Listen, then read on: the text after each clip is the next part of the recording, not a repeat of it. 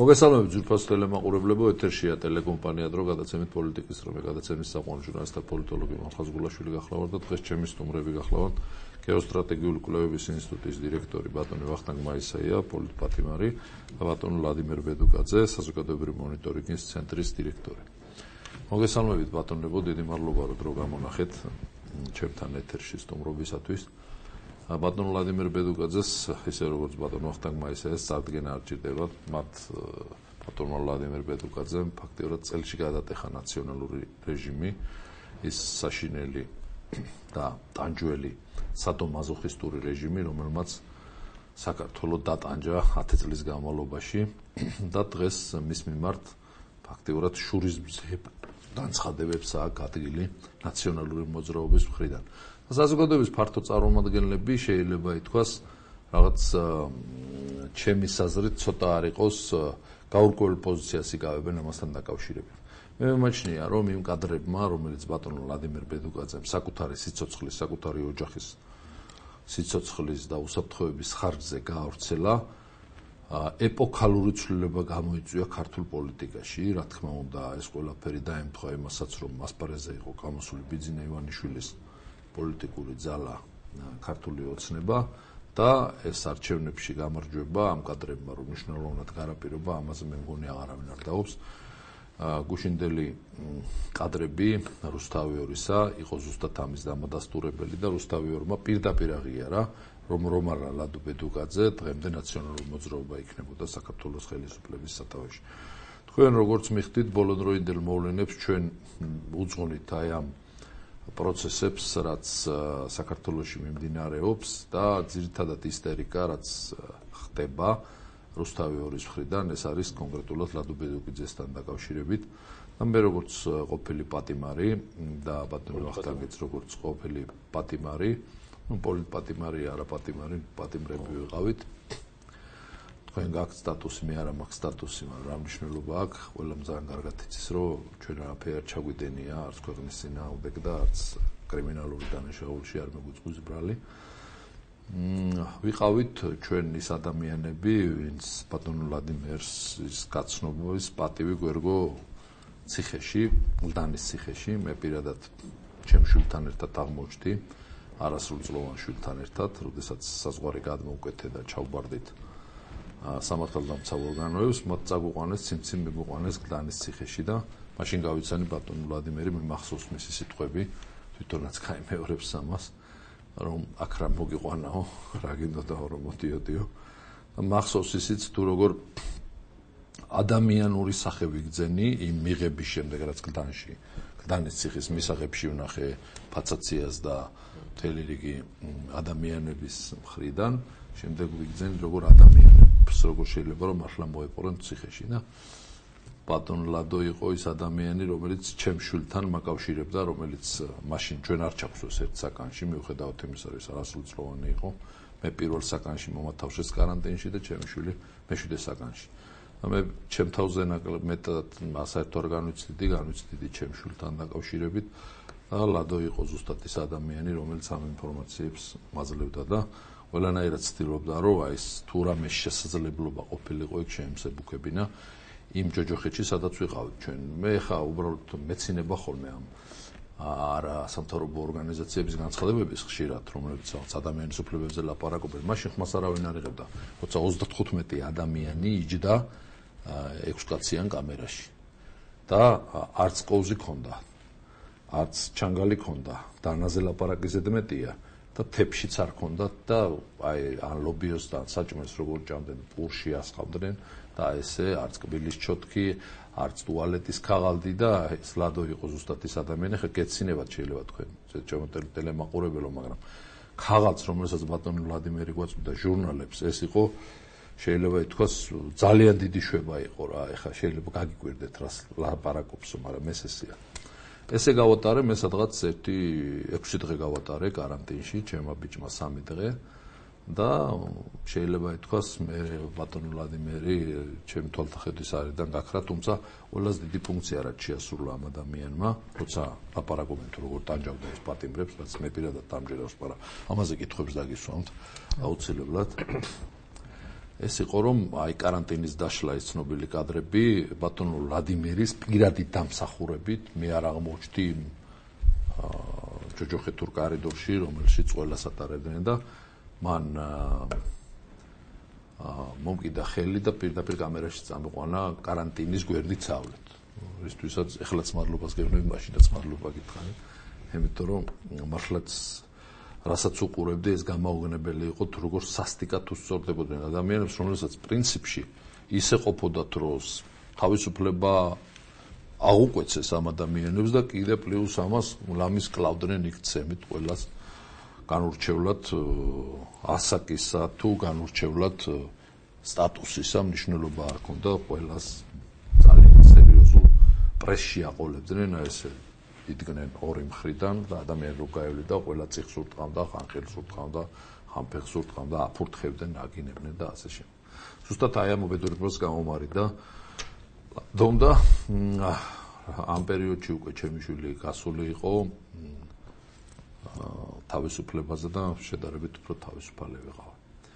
ეხლა ეს რატომ მოვყევი დღეს შესრულდა ზუსტად 3 წელი რაც მე ციხე დავტოვე ორთაჭალის ზონიდან გამოვედი 28 ოქტომბერს დავტოვე ციხე და მადლობა ღმერთს ყველაფრისთვის რაც გვანახა ისიც იმისთვისაც მადლობა რომ სააკაშვილის პერიოდში ციხეში ვიჭექი და ესეთ ადამიანებს შევხვდი როგორც არის ლადო.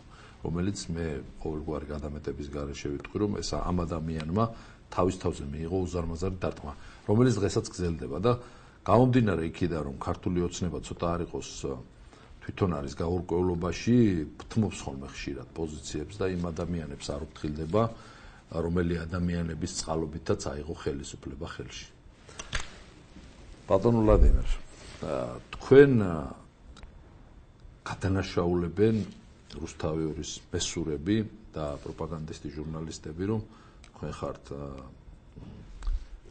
წამებელი და თქვენ აწამებდით ხალხს.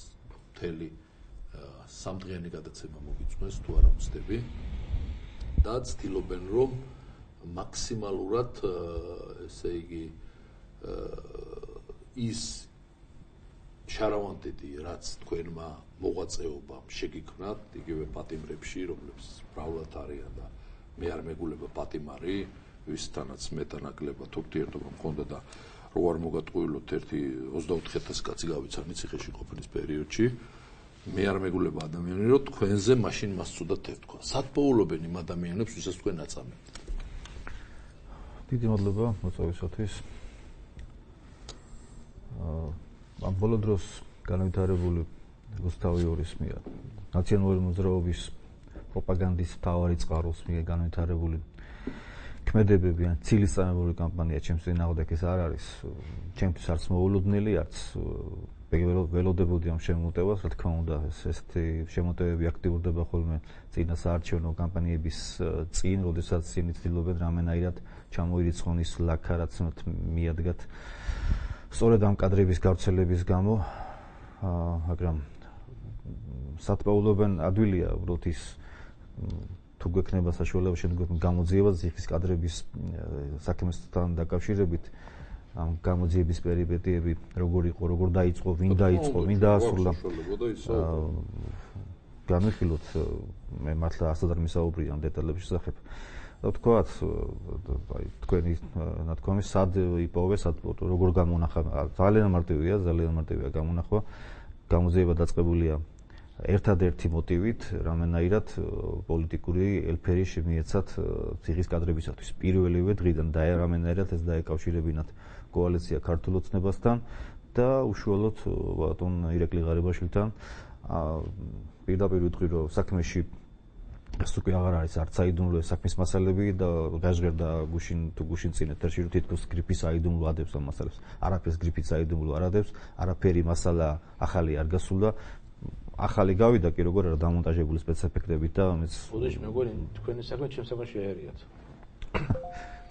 რომ ჩემს საკუთარ სკრიპტს აიდო დღემდე ადებს უკაცრავად ხო კი ბატონ და უბრალოდ აი ასეთი ტიპის გადაცემები ერთს მიგავიმეორებ პერცეფცია ხურება რამანენად ეს ლაკა ჩამოირეცხონ ჩირკი ჩამოირეცხონ და თქვენნაირი ადამიანები თავის თავზე გადაიტანეს მთელი სუბედურებას ლაკაშვილის რეჟიმის.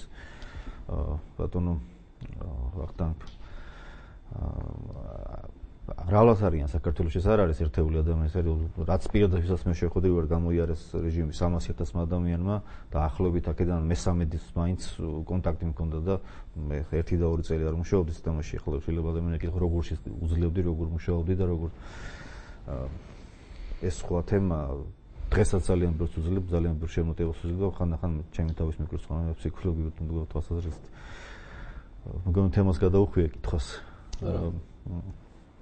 კარგი ემოცია მაინც ემოცია მოქმედებს. და აი რას ფიქრობ თქვენ?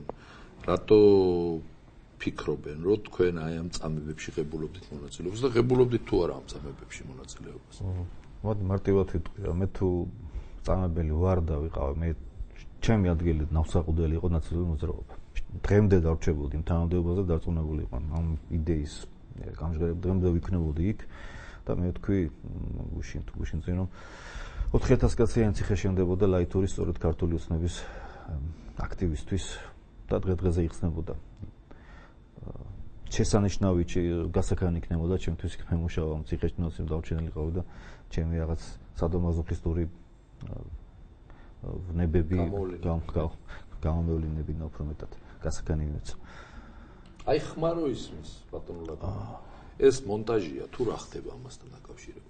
ну გუშინ და გუშინ გაწინ გასული სიუჟეტები გარკვეულწილად მონტაჟია იქ რა გარკვეულწილად სპეცეფექტები ძალიან ბევრია იქ დადებული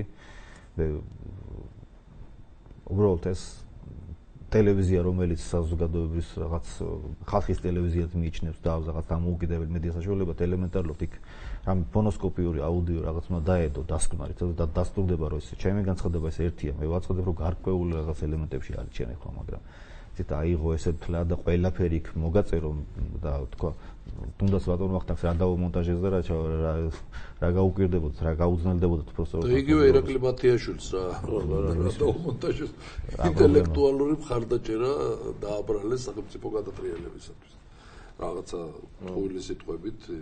მონტაჟის ხელოვნება ეს მათი სპეციალობაა კი ტყუილი და მით უმეტეს თქვენი საქმის ძიება იმ წუთშივე დაიწყო იმიტომ რომ შოკში ჩავარდნენ ფაქტიურად მიიღეს ესეთი დარტყმა რომელიც აი ნოკაუტში ჩავარდა ფაქტიურად ნაციონალური მოძრაობა აი ამ კადრების გავრცელების შემდეგ რომელიც თქვენ ალბათ საქმის სხვებმაც ეს ძალიან ოპერატიულად მოხდა ამის გავრცელება და იმდენად მოულოდნელი იყო მათთვის ეს დარტყმა რომ აი შოკში ჩავარდნენ და ვეღარაფერი ვეღარ მოიფიქრეს და დაიწყეს რაღაცა ნებისმიერი გზით შენი კომპრომენტირება და მაშინ დაიწყო თითქოს ეს იყო ერთეული შემთხვევა თითქოს ეს იყო დაკვეთა ქართული ოცნების ხდებოდა მხოლოდ მე როსაყურებელი შეიძლება გუშინ გუშინ წიდან გადაცემებში იყო კამერები თითქოს დაურიგები და სად არის აბა სხვა გადაღებული კადრები? სად არის? ჩვენ ვერ ვნახეთ საზოგადოებამ გუშინ რაღაც პათოსი იყო ვერ ვნახა საზოგადოებამ ეს გავრცელებული კადრები.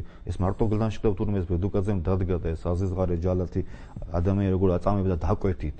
და შემდეგ იმ კვალს ეძებენ რაღაც რაღაც რამდენიმე მიმართულება ქონდა გუშინ წინდეს დაძის გადაცემას რაღაც მე თვითონ დავიბენი ბოლო ვარიანტში მით უმეტეს რა კავშირი შესაძლო გქონდეს აი ამ ყველაფერს ნეიტრალურ ადამიანს თვალთ მესამე ადამიანს თვალთ უყურებდნენ ყველაფერს. რა შესაძლო კავშირი ქონდეს ცხონებულ მკვლელობასთან პაზო რა გვარია? არა არა მანქანაში რომ მოკლეს.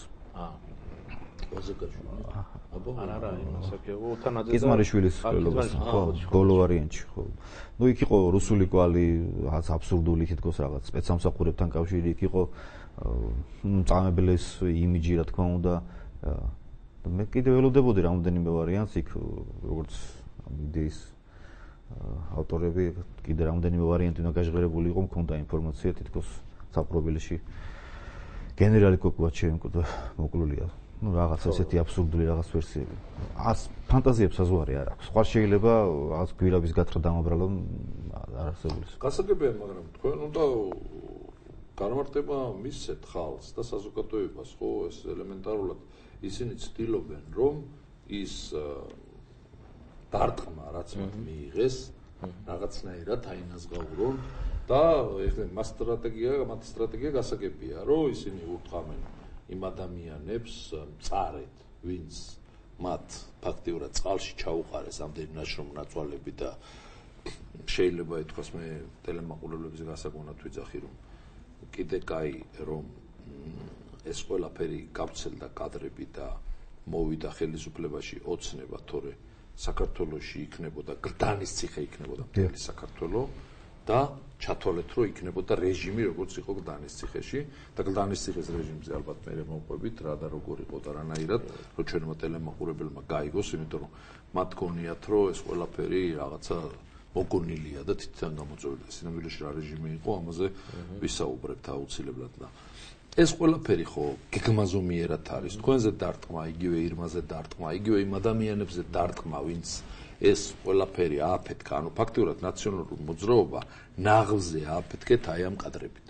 და ნუ ხელისუფლება გინდა არ გინდა აიღო ოცნება იმიტომ რომ ყველაზე მობილიზებული და ძლიერი ძალა იყო მაშინ.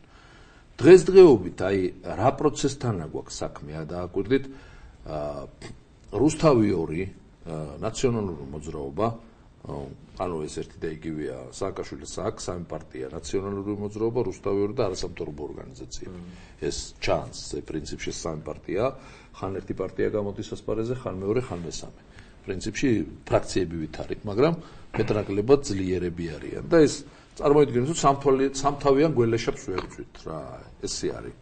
და როდესაც ამ სამთავიან გველეშაპს ვებძვით ჩვენ რაღაც სტრატეგია უნდა გქონდეს. ну ამ შემთხვევაში ხელისუფლებას უნდა გქონდეს, მაგრამ ხელისუფლებას ამწუხარო სტრატეგია არ აქვს. მუდმივად თავდაცვაზე არის გადასული. ეხლა იმის მაგივრად რომ თქვას, რომ რუსთავური კი არის ხურება, არამედ ედავება კერძო მესაკუთრე, კერძო მესაკუთრეს, მეც ვედავები საქართველოს ბანკს, ეროვნულ ბანკს, ბანკი წაგვართვეს. ვიღაცა კიდე რაღაცას ედავება. სამწუხაროდ ამ ხელისუფლებამ ვერ შეძლო და სამართლიანობის პროცესის აღდგენა ვერ მოახერხა. ხუთი ტეხ პასპორტი დააბრუნა ამ სამი წლის განმავლობაში, ხო? ხო და მანქანაც ვეღარ დააბრუნა, იმიტომ რომ მანქანა აღარ არსებობს და ტეხ პასპორტები დაუბრუნეს ფლობელებს კი. ხო და ეს არ არის სამართლიანობის აღდგენა. აი ამ პროცესებმა ყველაფერმა გაათამამა ეს შაუბნელი სადომაზოხისტური ძალა, რომელიც მზად არის რევანშისათვის და ეხლა შემთხვევით არ არის რომ იქ ლაპარაკი არის სახელმწიფო გადატრიალებაზე. შემთხვევით არ ხდება ეს ყველაფერი ახლა. სააკაშვილს რო ისე უნდა საქართველოს დაბრუნება ხელისუფლებაში და რაუბედური ძალაც არის ახლა გუშინაც ვნახეთ ეთერში და ყოველდღე უყურებთ ამ ნაციონალური მოძრაობის უტიფარ სახეებს რო უყურებ, აი ნეროზი მიძლიერდება პირდაპირ. თუ ეჭ სწორედ ჩემზე შემოტევა ეს იყო ნაციონალური უცრავად რუსთავი ორის წინააღმდეგ წარმართული სასამართლო პროცესის ну გადაფარვის და გავრცელებული უკრაინიდან გავრცელებული კადრების გადაფარვის ცდელობა. რა თქმა უნდა, უნიჭო ცდელობა. რა თქმა უნდა. რაც აა გამორიცხულია აი ამ მეც რომ წამებლად გამომიყვანა, მეც რომ რაღაცნაირად რაღაც დაარწმუნო საზოგადოების ნაწილი, ჩემს თუ გამდგომ თქვენაი ადამიანებს რას ეთქვიან? აი როგორ თქვენ როგორ დაგაჯერებენ თქვენ ციხეში მოგეჩვენათ მოგელანდათ ის? თუ ყველგან იქ მე ვიყავი ყველგან ყოველ 18-ვე დაწესებულებაში მე მუშაობდი ორეულები მყავდა თუ რა ხდებოდა? აი პასუხი უნდა გექცენო მე ტელემაყურებლების გასაგონად მინდა თქვა რომ ორი დაწესებულება მოვიარე მე პირადად როგორც გლდანის ციხე დახურული ასევე ორთაჭალის ციხე და ორივეგან საკმაოდ ძლიერი იყო ცემებიც ტანჯვებიც, წამებებიც და ძალიან მკაცრი და უხეში მიდგომები იყო ყველგან და კამერებს როგორც იღებდნენ კამერებზე, როგორც იღებდნენ გლდანში და მე თქვენ აღარც მინახიხართ каранტინის შემდეგ მე ბასტის შევეკითხე და ლადო წავიდა აღარ მუშაობს აქო. აი ესე გაკურებულად მითხრა, მე არც ვიცოდი რომ წასულიყავი, სულ მოკითხვას ვაბარებდი შენთან. იყო ესეთი ფაქტი რა, რომ ჩვენ თქვით და ეხლაც ვამბობ, რომ ეს კამერებზე იღებდნენ სისტემატიურად იღებდნენ კამერებზე. თუ ვინმე სცემდნენ, თუ ვინმე აი აბანოში ხდებოდა ძირითადად ცემა, ან ოთახში შემოვიდნენ შმონის შემდეგ რომ ააყირავდნენ თავდაყირა ყველაფერს თუ რამეც ერთხელ სპიჭკის ღერი იპოვეს შეტენილი რაღაცა რკინის იმაში ვიღაცა და ეს ვისია უძველი შეტენილი იყო და კინაღამ დახოცეს მთელი კამერა რა. კამერების გადაცემის ფაქტი სასამართლო პროცესზე დაადასტურა საჯარო სტრუპის დეპარტამენტის თავმჯდომარის მოადგილემ გაგა ურნალიძემ ბრალდებულმა. პირდაპირ განაცხადა რომ მათ შეიძინეს 18 ვიდეო კამერა დაურიგეს ყველდაცებლებში მაგრამ მოტივი იყო რაღაც აბსურდული თითქოს ბრალდებულთა და მჟავრდებულთა დაცვის მიზნით მათ ძალიან ვიცავდნენ ახლა მე ვერ ვნახე ერთი კადრიც კი წარმოდგენილი მე ეს ინფორმაცია ვიცოდი გაცლებით ადრე 2010 წელს სწორედ ლადოს დახმარებით ლადომ როცა მე დავიწყე პოლიტიკური აქცია შიმშილობის აქცია ლადომ კი იცის რაზეა საუბარი როცა მე ვიყავ ფაქტიურად ნაცემი რომ ფაქტიურად ვერც კი ვდგებოდი საწოლიდან ეს ცნობილი ფაქტი ამაზე მე მოგვიანებით შევეხები. სწორედ ერთ ადამიანს ლადო იყო რომელიც მოვიდა ჯერ გავჭერეთ გავამიცხადა სოლიდარობა ეს ერთი და მეორე გამაფრთხილა რომ ჩემს ამ საკანში 93 საკანში იყო დამონტაჟებული ვიდეო თვალი. ჩემ საკანშიც იყო დამონტაჟებული, მე ვიცოდი რომ დამონტაჟებული. ვიცოდი, მაგრამ ხალხ ლადომ ოფიციალ გამაფრთხილა. სხვა შეს მე ეს დამეხმარა მე პროვოკაციის, ორი პროვოკაციის თავიდან აცილებისათვის. იმიტომ რომ იქ იყო დადგმული ესეთი სცენა, რომელიც ესე იგი პროვოკაციის შედეგად მე იქიდან ცოცხალ არ მოყოფილი ყავთ. სწორედ აი ლადოს მიერ აი ამ ინფორმაციის მოწოდებული ინფორმაცია მე ფაქტიურად გადამარჩინა და პირდაპირ შემიძლია ახაც მინდა მადლობა გადავუხადო ლადოს თანადგომისათვის რომელიც მოდი რთული პერიოდში. თქვენ სული რომ სიმტკიცო. მე თვითონ მაგრამ აი მე 2010-ში უკვე ეს მქონდა ესე ვქოთ ისე რა ქვია. ეხლა ჩვენთან რეკლამის დროა ძვირფას ტელემაყურებლებო ძალიან მალე დაგიბრუნდებით არ გადართო თქვენ სიმართლეს მოისმენ და არ რაღაც შელამაზებული ინფორმაციებს თვითმხილველებისაგან რომელთან ორი პატიმარი იყო ერთი იყო უსაფრთხოების თუ რეჟიმის სამსახურის იმ სისტემის ნაწილი როგორც სისტემის ნაწილი რომელმაც გარის საკუთარი სიცოცხლე, საკუთარი ოჯახის უსაფრთხოება და გადადგა ეს გადამწყვეტი ნაბიჯი. დაგებრუნდებით მალე რეკლამა.